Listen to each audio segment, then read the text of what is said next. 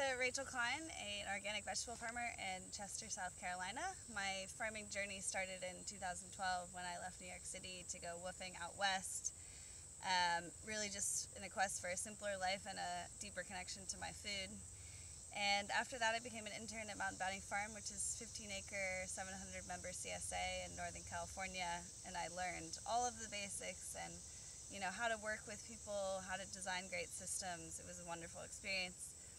And from that, I really became interested in regenerative ag, specifically in no-till and reduced tillage techniques and annual systems.